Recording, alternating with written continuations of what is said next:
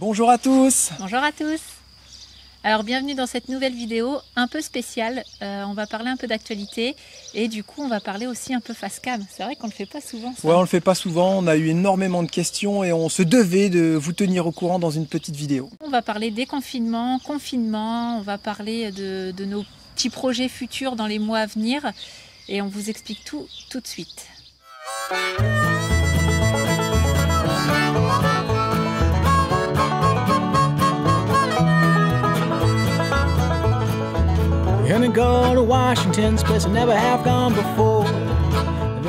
Alors déjà, commençons par le début. Nous, à la base, on est nomades. Sauf qu'il y a 3-4 mois, on a décidé d'aménager un nouveau véhicule et on est devenu entre guillemets euh, nomadaire. C'est ça? Semi-nomade, semi-sédentaire. Et euh, j'aime bien cette expression-là. C'est un copain qui avait trouvé ça et je trouvais ça marrant. Du coup, bah, en ce moment, on est nomadaire et on devait, après l'aménagement du camion, repartir sur les routes. Et on avait un gros projet, c'était euh, entre guillemets l'Afrique. Cette aventure n'est pas compromise, mais elle va être entre guillemets retardée et on ne peut pas à l'heure actuelle savoir quand est-ce qu'on pourra partir, si on pourra partir, dans quelles conditions on pourra partir?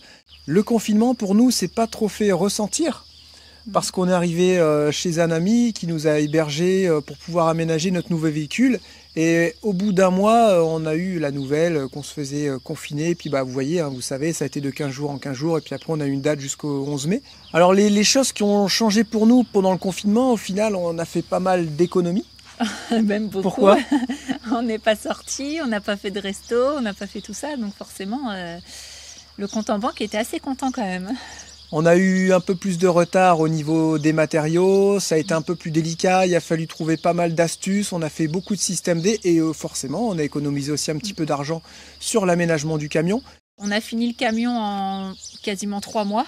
Voilà, c'est ça. Euh, franchement, ça a été bien pour nous.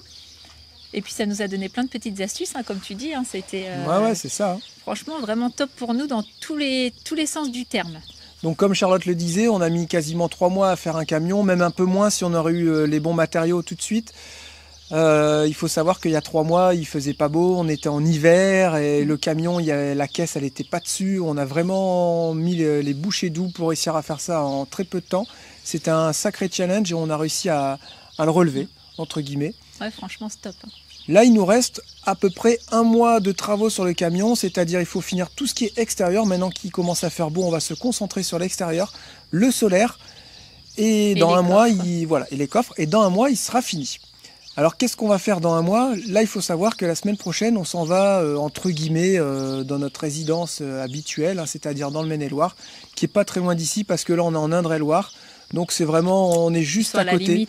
Voilà, on est juste à côté, donc on aura le droit de retourner là-bas et on va se poser là-bas environ trois semaines, un mois, un mois et demi. Le temps de finir les travaux. Le temps de finir les travaux et ensuite il faut qu'on aille sur notre terrain. Vous le savez, pour ceux qui nous suivent de près, on achète un terrain dans les Pyrénées. Et voilà, on attendra le temps qu'il faudra pour pouvoir aller dans les Pyrénées, bien entendu. Euh, une fois que le camion est fini, qu'il est autonome, on a des projets vidéo à réaliser. Et comme on est entre guillemets dans l'audiovisuel et professionnel, on a le droit de se déplacer pour travailler. Donc euh, il va falloir nous qu'on se déplace pour faire nos portraits, nos projets vidéo.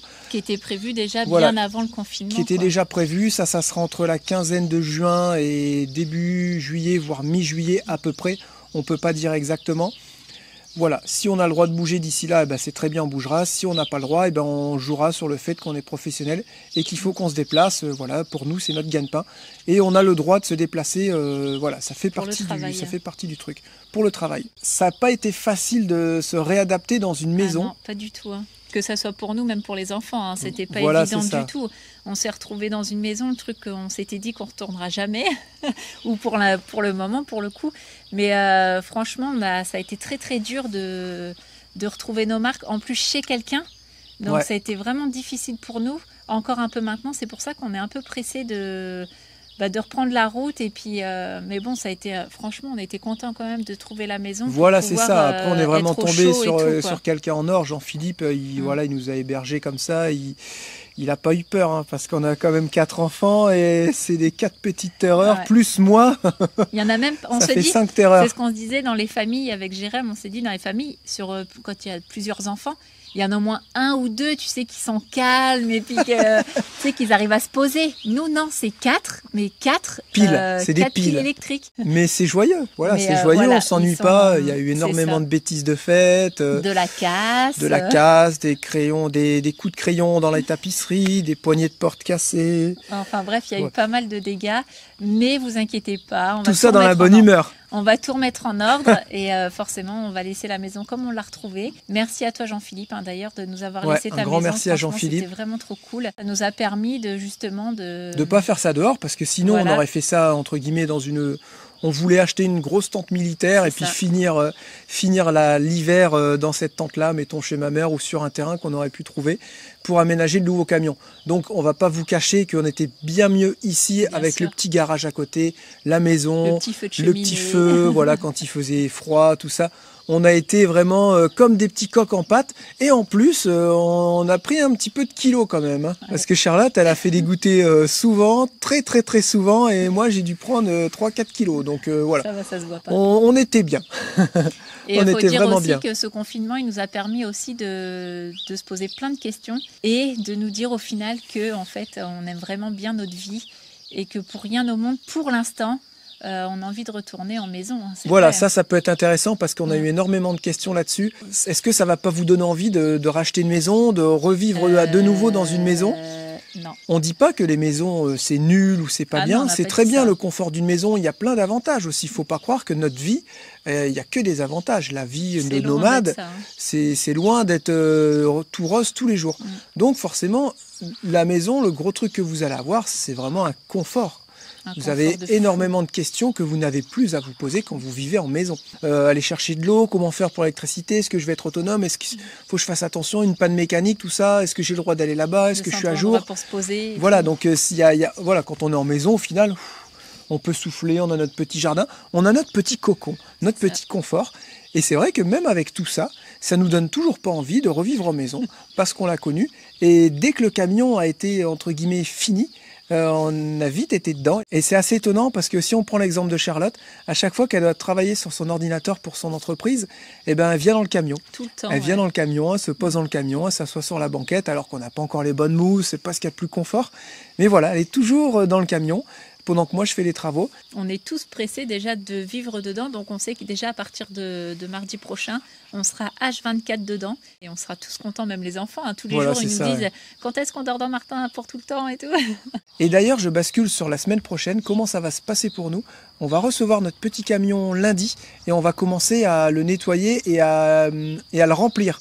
Alors pour ceux qui ne savent pas, il faut savoir qu'avant, on avait un bus de 12 mètres, un quart, un quart de voyage de 12 mètres avec des soutes énormes. Oh, les dingues Et voilà, forcément, on a dû mettre des affaires un peu partout et c'est impressionnant la masse d'affaires, de, d'outils qu'on a pu euh, stocker dedans. Donc c'est tout simplement impossible de tout stocker dans, ce camion-là. Mais au final, ce sont des affaires qu'on ne veut pas séparer puisque ça va être des choses très utiles, euh, que ça soit sur la route ou sur notre terrain euh, prochainement. Donc au final, on s'en sert un peu comme box, comme euh, un, petit atelier, voilà. un petit, un petit rangement de, un petit espace de stockage en fait. C'est le box, c'est notre box mobile et c'est pour ça qu'on l'appelait Rocky. Rocky, box, box, Balboa. Donc c'est pour ça, il va pas nous suivre dans nos voyages, euh, il va juste nous suivre quand on sera euh, en, France. et il va nous suivre quand on sera sur notre terrain. Et quand on partira en voyage, ben, on le mettra chez quelqu'un ou dans un gardiennage où on trouvera, euh, on essaiera de trouver un endroit pour le, pour le mettre à l'abri justement. C'est pour aussi éviter de se déplacer tout le temps avec lui parce que bah, voilà, c'est un gros 4x4, il consomme. si on peut éviter de se déplacer avec, c'est cool. Et voilà, et nous, on est une famille avec quatre enfants, et quand on a envie de faire euh, deux, trois jours quelque part, bah même un monospace, c'est trop petit. Ouais, ça, commence à faire juste. Au moins là, il y aura la place. C'est ça qui est cool. Mais il ne sera pas aménagé derrière. Hein. Alors c'est vraiment un véhicule qui va être nettoyé et tout simplement rempli avec tout le matériel. Ça n'empêche pas qu'on va faire un, gros tri dans nos affaires parce qu'on s'était vraiment encombré de, de pas mal de superflus. Et on va vraiment prendre l'essentiel. Et il y a des choses qu'on ne veut pas séparer. Et ce petit camion, il va servir à ça. Voilà. Donc ça, il arrive lundi, on le nettoie, on le remplit mardi, et je pense que mercredi, on s'en va direction le Maine-et-Loire. C'est juste à côté. On récupère la moto qui est sur la route. Ouais. Et voilà, c'est parti. nos coussins et c'est parti pour un mois encore de travaux, tranquille parce que de toute façon maintenant ça sert plus à rien de se mettre la pression, on n'est plus pressé. Ensuite, c'était prévu qu'on aille sur le terrain un ou deux mois pour lui mettre, pour lui refaire une petite beauté, essayer de l'entretenir un petit peu. Et là, c'est pareil, on va vraiment prendre le temps d'aller faire nos projets vidéo. On va prendre le temps sur le terrain. Et s'il faut y rester tout l'été, une bonne partie de l'automne, eh ben, c'est pas un souci. On prendra un peu plus le temps avec nos enfants de vivre tout simplement, faire notre petit potager, tout ça. les travaux qui nous restent à faire, on se dit un mois, mais après ça dépendra du temps puisque tous, tous les travaux qu'on a à faire, c'est que de l'extérieur. Donc euh, s'il fait moche, bah là, ça prendra un peu plus de temps. Ça prendra du temps, ça sera repoussé. S'il fait beau, ça euh, peut être très vite aussi. S'il fait beau, euh, peut-être qu'en 15 jours, ça peut être fait. Voilà, c'est ça, en 15 jours, ça va être fait. Ça dépendra de plein de choses en fait. Hein. Euh, les projets vidéo, tout ça. Vous savez que si on peut bouger à partir du début juin, voire 15 juin grand maxi, on va faire un petit tour de Normandie et normalement on fera la Bretagne. Depuis le temps qu'on devait la faire, cette bout de Bretagne. Vraiment au bord de la Bretagne et après on redescendra euh, vers notre terrain dans les, dans les Pyrénées. Dans les Pyrénées, voilà. On passera un petit peu vers Bordeaux, tout ça. Voilà, voilà dans les grandes lignes euh, ce qu'on va faire dans les mois à venir euh, ça peut encore changer, bien entendu, c'est pas, c'est pas définitif. Et ça dépend aussi de l'actualité, bien entendu. Euh, si on n'a toujours pas le droit de se déplacer à plus de 100 km à partir de début juin, voire euh, au 15 juin, les seules choses qu'on fera pour se déplacer, c'est nos projets vidéo. Et voilà, ça sera que du professionnel, entre guillemets, et pas du loisir. Et après, pour ce qui en est des voyages, ben, on attendra tout simplement que les frontières, elles réouvrent tranquillement. Et pareil, on n'est pas pressé. Hein. Si c'est début d'année, bah, ça sera début d'année. Même, si euh, même si c'est en mars l'année prochaine, en fait, il n'y a rien qui nous si dérange. Après, si c'est en mars, avril, peut-être qu'on changera de destination euh, un peu plus vers le nord ou ça dépendra de la période en fait qui, qui vont réouvrir les, les, les barrières, j'allais dire, qui vont réouvrir les frontières en fait. Hein. Ça dépendra de plein de choses. Mm. Nous, on, on, a des projets, on a plein de projets, on a plein de pays à les visiter mais on ne sait pas dans quel ordre le faire. Et puis bah, si c'est ce pays-là avant l'autre, eh bah, euh, on verra. Et puis c'est si tu hein. parles de l'Afrique, c'est un continent. Ah oui, pardon, excusez-moi.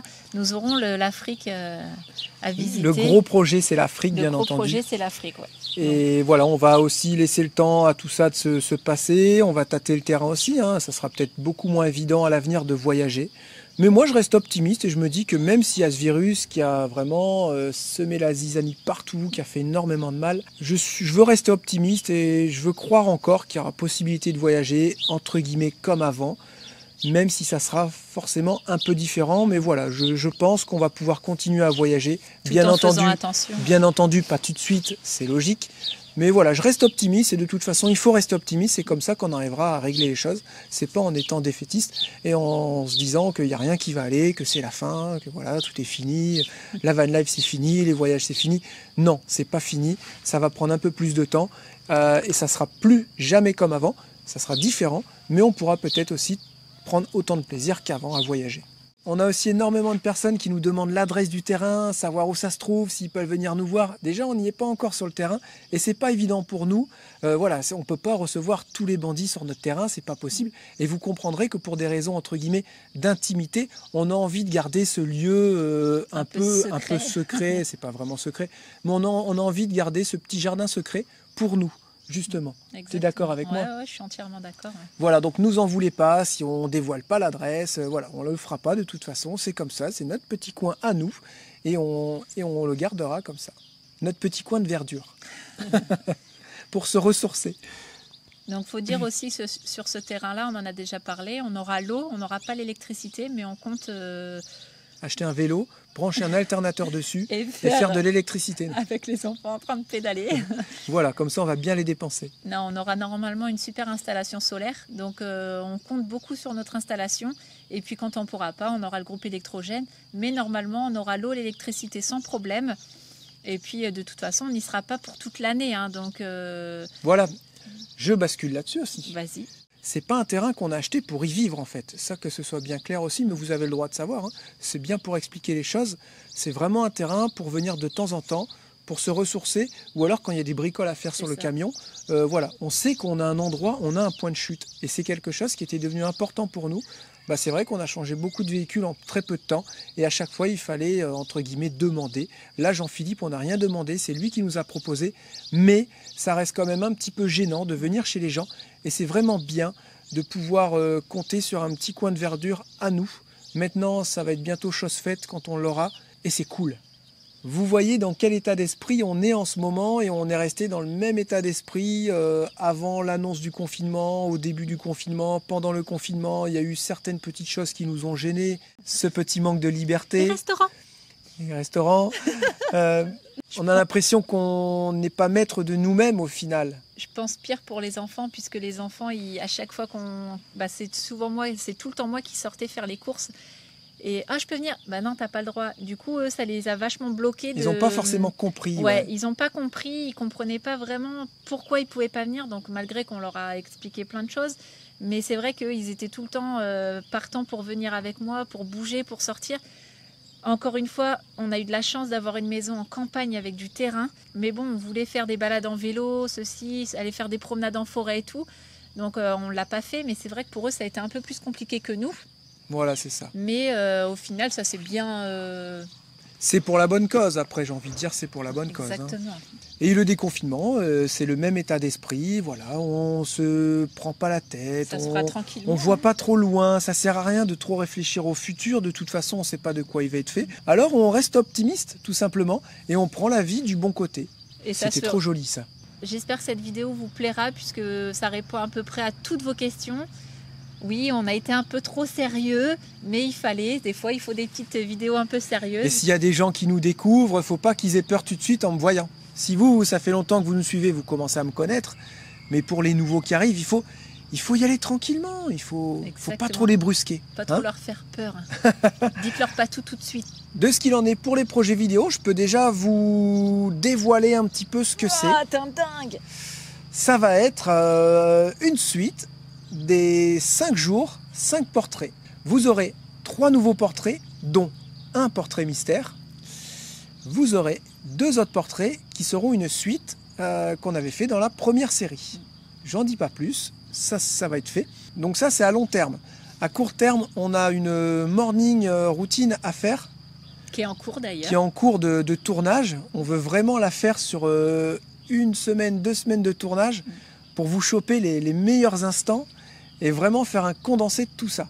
Et ensuite, j'ai quelques petites vidéos euh, mécaniques, euh, montage de caméras de recul qui vont arriver dans pas longtemps.